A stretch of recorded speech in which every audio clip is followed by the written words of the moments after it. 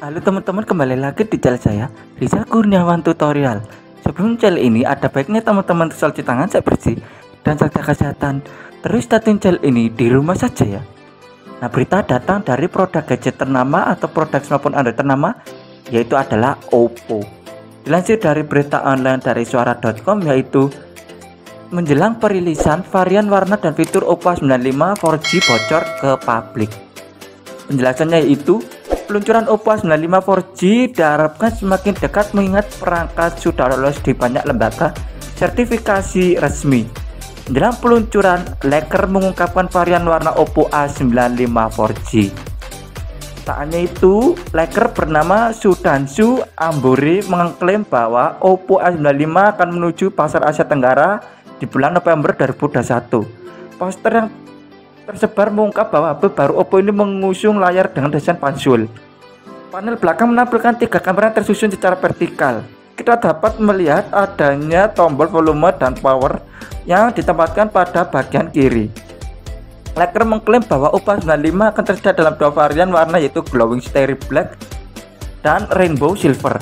Laporan terpisah dari My Smart Press, Lecker Abhishek Yadav membocorkan bahwa Oppo 95 4G telah terlihat di beberapa lembaga sertifikasi resmi termasuk NBTC Thailand, FCC Amerika Serikat, dan TKDN Indonesia dan CQC.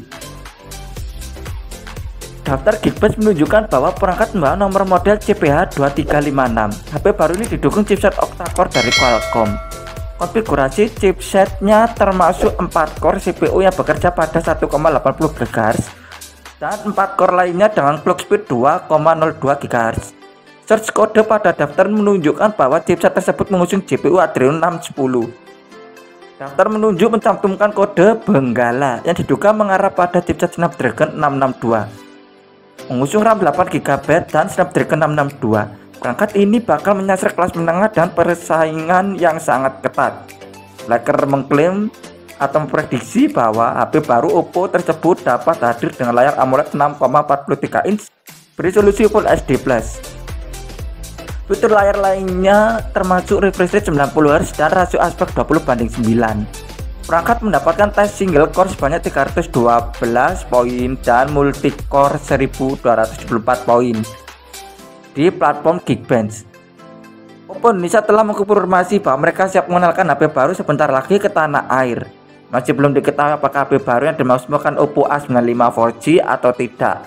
Mengingat Oppo A95 4G telah muncul di Geekbench dan lolos di berbagai lembaga sertifikasi resmi. Tanggal perilisan perangkat kemungkinan dapat diungkap oleh perusahaan dalam waktu dekat. Nah, itu adalah berita yang datang dari produk gadget ternama atau produk smartphone Android ternama yang dilansir dari berita online dari suara.com yaitu menjelang perilisan varian warna dan fitur Oppo A95 4G bocor ke publik. Nah terima kasih sudah menonton channel ini. Jangan lupa klik subscribe, like, comment, dan share. Dan aktifkan tombol loncengnya Agar selalu mendapat notifikasi tentang video-video saya Tentang teknologi, unboxing, dan tutorial. Dan agar channel saya terus berkembang. Terima kasih